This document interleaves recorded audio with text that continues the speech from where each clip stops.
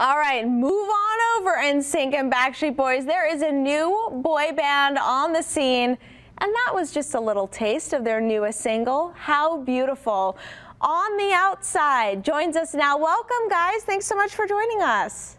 Hey, what's, what's going on? Oh, I love that everyone talks at the same time. This is fun. so you guys, you, you really emerged as, as the way that only the most 2021 way could through TikTok. So uh, tell us how you guys met, how you got started, and your found newfound TikTok fame.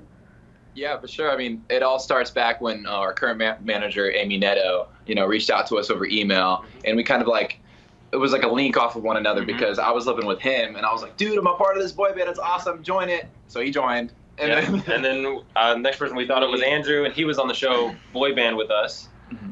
And then from there we, we found Dawson uh, no. on the internet. Yeah, we found him on YouTube. wow. My best friend, and so he became the last member. So we all knew each other, but we didn't know him. But yeah. he fit So you guys were all friends. Well, most of you guys were friends. Okay, so how does this work? Do just talented people hang out with other talented people? I mean, I just don't understand how it's like, oh yeah, my best friend can sing and he can also be famous. No big deal. How does this work? That was kind of how it was with Sam. Yeah. Like, oh, this is my best friend. I was like, can he sing? Like, yeah, he can sing. I was like, all right, like, this is great. You are you are who you surround yourself with. Yeah. And since we're just we're, we're in love with music and songwriting stuff, you know, those people just attract easily. Yeah, so. mutual thing. Yeah.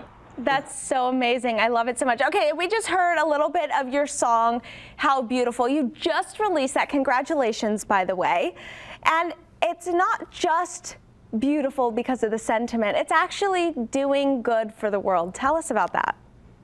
Thank you. Sam, you want to talk about it? Yeah, um, since the beginning, that's been our main focus is to try to spread some positivity. And this song, How Beautiful, it started with that. It's written to the people who are struggling with their self-image and everything like that. And uh, it starts with our outsiders, our fans. We love them, and we just want to make some positivity. And it's hopefully doing that, and we see that it's doing that, and we're really proud of it. Yeah.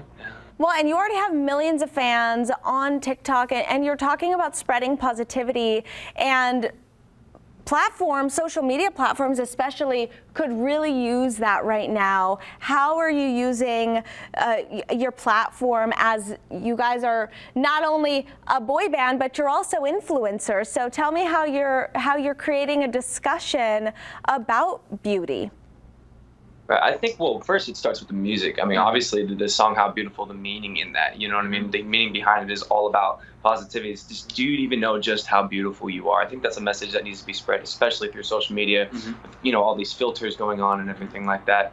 And um, comparing um, yourselves to uh, these perfect people, mm-hmm. you know, just wanting I don't know that that standard of social media of, of comparison and um, wanting to be perfect or wanting to be like them. It, it, sucks that we're trying to let people embrace their true beauty, you know, um, and express that their insecurities might be beautiful differences. Mm-hmm. So. Yeah.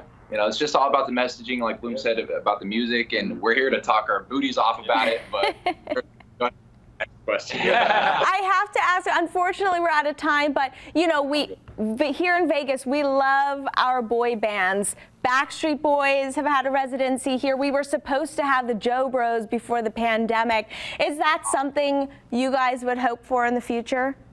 One hundred percent. Residency in Vegas is actually one of our goals that we've always wanted yeah. to achieve. So yes, okay. Speak it into existence, and we'll all be going to the on the outside Vegas residency.